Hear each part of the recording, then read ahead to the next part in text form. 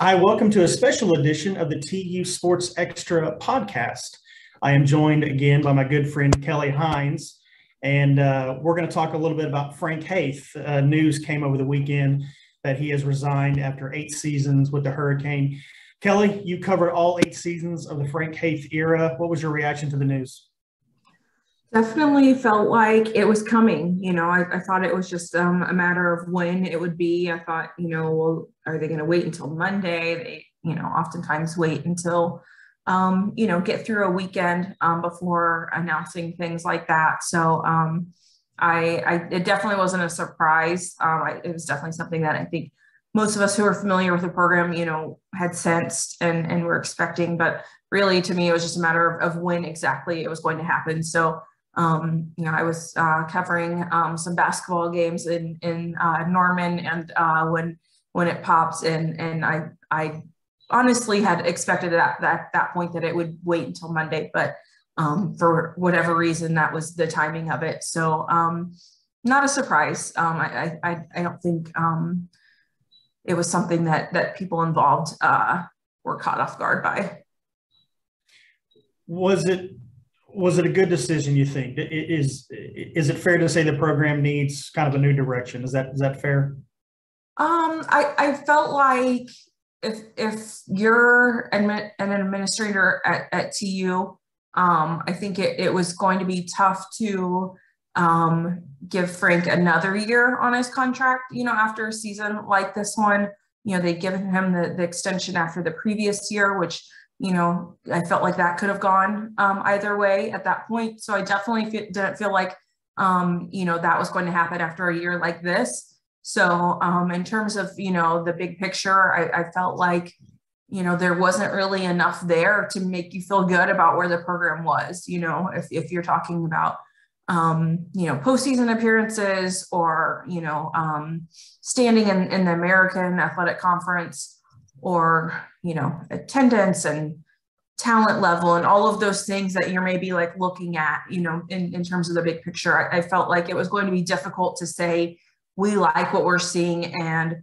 we're going to give another extension to this coach. So um, you know i think it probably came down to do we have um, enough money to buy him out of, of the you know remaining year on the contract or um, do we feel like we're in a good enough position to um, you know uh, work out a deal with him? You know those things. I felt like it was maybe more you know the, the logistics of it um, how feasible that was going to be. Um, it's hard to say if it's a good or bad decision because you don't know what the future would have looked like with him you know? But after eight years you kind of know what you have you know?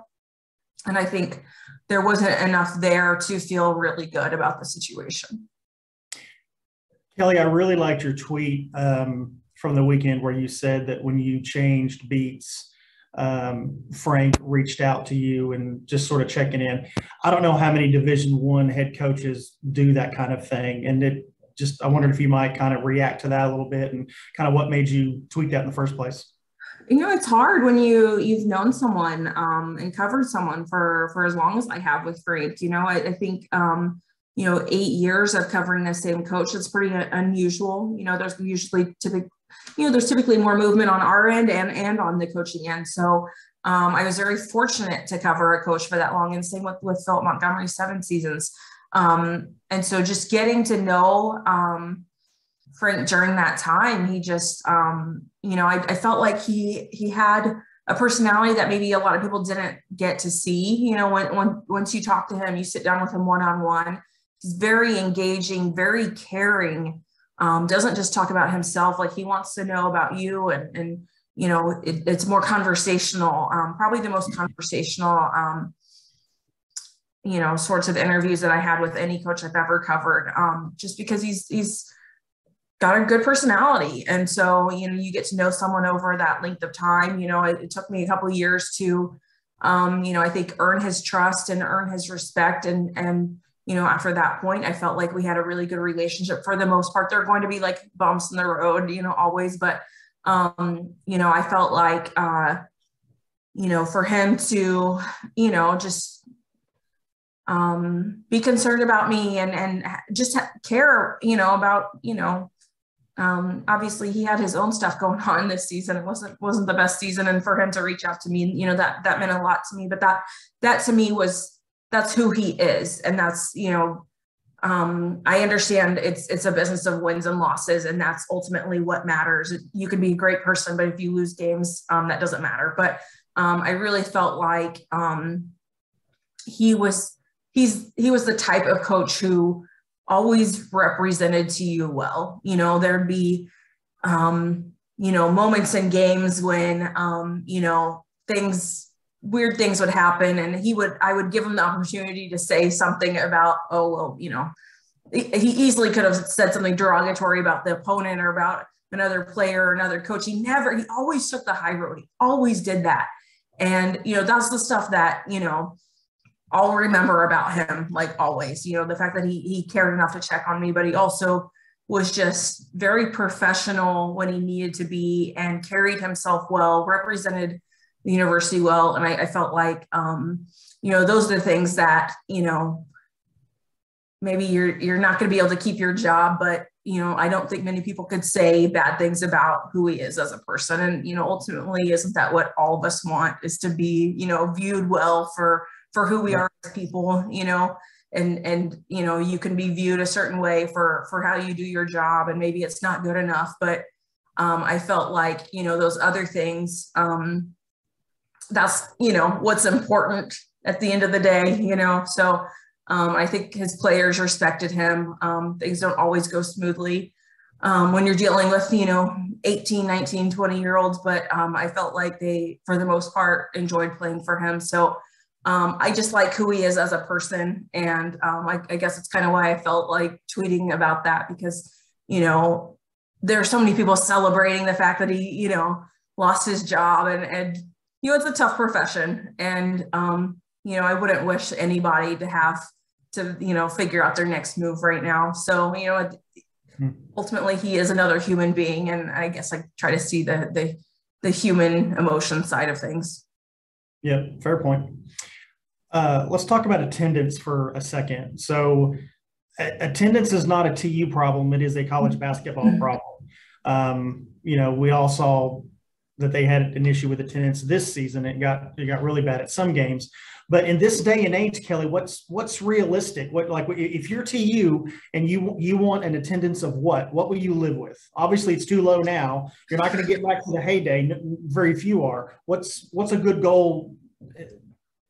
I, I feel like the arena needs to be at least half full or half empty, however you want to see that. Um, I, I think you need to have fans who are more engaged you need to have a full student section. You got to figure out some way to get those kids in there.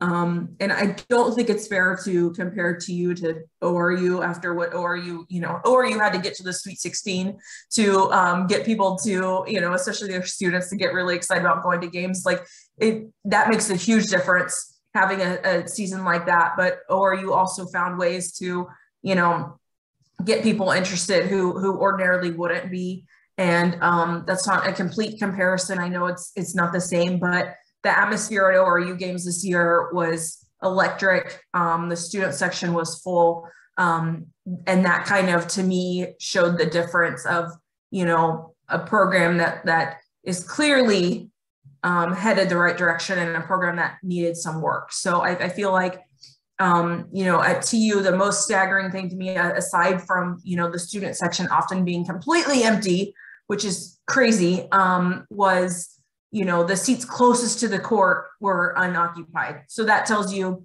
that even people who spent a lot of money on tickets to, have those seats just didn't even want to show up for them. I mean, that's pretty bad. So, um, and some of those seats weren't, um, the tickets weren't sold, but a lot of them, I know they were. I mean, I knew people who had season tickets directly behind press row. I, I don't think they went to see a single game, which I guess if you have a disposable income, you could probably do that. But um, you're not even finding anybody who wants those those seats. I mean, that's just that to me was just really alarming. So um, I feel like having people who are willing to, you know, show up for the games um, if they have tickets, like you've got to get those people on board. Like having those seats that are just going to go empty and you can't do anything about it I know it's been an issue with football too.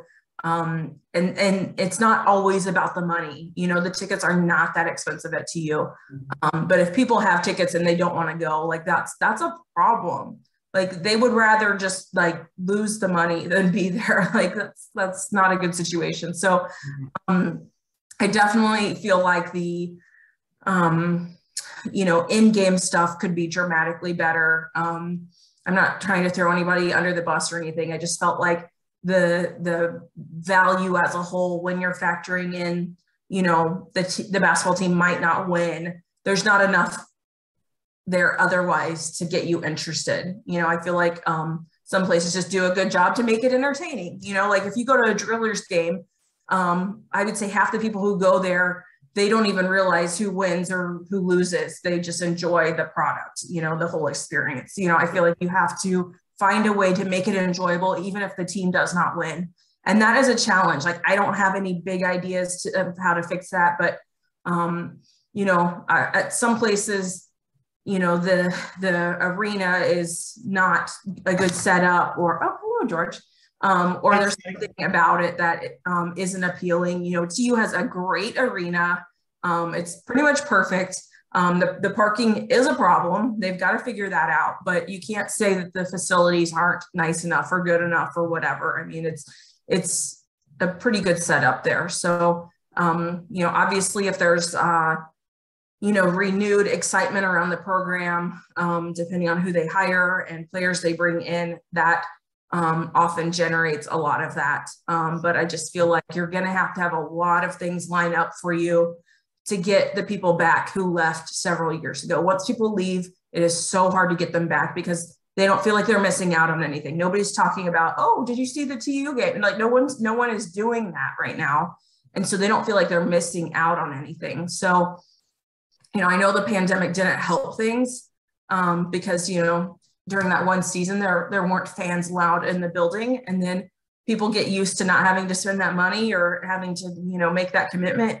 And then you know it's pretty easy for them to not go back to it. So i feel like there are a lot of factors involved that led to the bad attendance but it had definitely been on the decline for like you know more than a decade now. And it's it's just really difficult to get back on track. You have to have you know just a, a crazy wild fun season. But i also feel like um, tu has not had the type of players who fans have really been able to connect with in a long time and you know the the um, you know James Woodard, Shaq Harrison um, senior class. You know, I felt like fans really connected with those guys yeah. and um, rooted for them as players, in addition to rooting for the team. And you need to have some of that. You know, recruiting more in-state players that helps, um, and just having some stability and continuity in your program to where you're not expecting fans to get really excited about guys who will come here for one year and leave. And then another guy comes in for one year and leaves. There was just too much of a revolving door with Frank's teams. Um, and that I know is a problem everywhere. That's not a TU problem, but um, at a school like TU, when you're, you're already facing so many other issues, when you don't have any um, players who fans really get to know, um, that just adds to it. It's Kelly, it, it's really affecting my personal enjoyment of college basketball. What you just mentioned, just the fact that rosters don't stay together and you don't you don't get an opportunity i'm not talking about tulsa i'm talking about everybody yeah. you don't get an opportunity to get to know these kids and even on a superficial level you don't you know you can't even rely on oh when i saw them last year the year before it's it's a problem and i don't it, it i mean you know i barely watched the bracket show yesterday i couldn't tell you much. I mean, you follow college basketball much more closely than I do, but I remember, you know, I'm, I'm sounding old now, but when I, when I grew up, even superstars stayed at least three years. I mean, uh, it's I miss it. I miss having a cohesive team where I could get to know the players. You know, I really miss that. And you know, it's somewhat the same with coaches. You know, coaches become more and more removed from things. You know, it's not always that way, but you just don't you don't really have coaches who feel comfortable like you know having a big, big personality or do you know wearing the sort of outfits that Nolan Richardson wore like you don't you just don't right. see stuff that like makes you like really excited about coaches in the same way that it used to be because you know they they don't want to be too too, you know, flamboyant to where, you know, officials hate them or to where people are very much like, you know, soured on them for whatever reason. I just feel like, you know, coaches are becoming more and more dry characters because they feel like they have to be and uh, you know you don't see the same fiery types that maybe you used to. And those are the ones that fans often like love that. You know they're like oh my gosh i love that he's standing up for his players and, and arguing calls. Like the things that like fans probably would would get more interested in you know you just don't see as much anymore.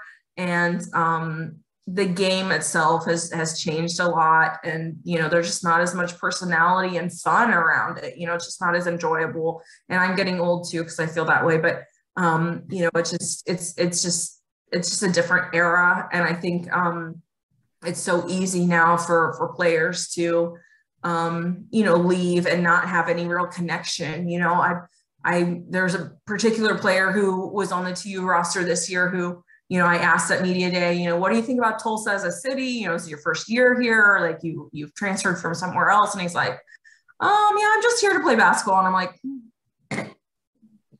yeah, okay, got it, got it. Totally fine. You do you, but you know, this is actually a pretty great place to live. There are a lot of really good people here. It just, you know, sometimes they're just they're not interested in that. And that's there's not anything wrong with that, but you fans to get excited about those players when you know that's how they feel. They don't have any connection to the community. Um, it's definitely seems to be different with football. I feel like most football teams do more, um, you know, community type events and are, are just more, even though they play with helmets on, they just seem to be more visible. I'm not really sure why that is. Um, but there are also more of them. So that probably makes a difference. Um, I just, uh, I felt like with with the TU teams in the last few years, you know, not as much personality as some of the ones in the past, and just not any any players um, that people really felt a connection to, with the exception of Anthony Pritchard, who obviously is a Tulsa product, but you know he's only a freshman, and it, it takes time, you know, to get to know somebody. So I'm just hoping that whatever happens, he uh, is able to stay at TU because I think he has such a bright future ahead of him. So I'm going to put you in Rick Dixon's shoes for a minute, uh, and we won't speculate on names because who uh, who knows? I mean, who even Frank knows? Haith wasn't Frank Haith wasn't talked about when he got the TU job until it's eight years ago. So it's probably going to be someone that we're not talking about. But just in terms of the type of coach you're you're wanting, you know, if you're Rick Dixon, what what what what are you looking for? I really loved the Angie Nelp hire with with TU women's basketball because she was someone who had an excellent reputation um, as a high level assistant in college basketball, had, had worked under really incredible coaches. So she had that pedigree and you felt like she, she knew how a program should be run. And she obviously, you know, being from Oklahoma, that helps, but having a, a connection to Oklahoma, understanding the high schools here and just, you know, really what the community is like you know that to me is is a dream type hire. Obviously it worked out pretty well for her. You you never know how things are going to go but obviously her first season was very successful. Um, i feel like a younger very energetic enthusiastic um, coach who maybe doesn't have division one experience as a head coach but has a lot of years of being a successful assistant understands um, you know, what is involved with recruiting high level players, um, has a connection to Oklahoma. I think I said that already. Um, and uh, is able to um, compile a really good staff, you know, has the connections and has people basically lined up in their mind to, you know, this is who I want to bring in because I really feel like whoever it is, they need to have that um, that staff that just comes in and just gets it done. You know, I really liked Frank's first staff. I mean, that first staff was incredible. All of the experience and all of the like the the faces that you're like, oh my gosh, they, he got okay. You know, it was just like a really impressive first staff. I felt like it it kind of went downhill from there. I know it's very difficult to retain assistants, especially if you have success, they're going to be moving on.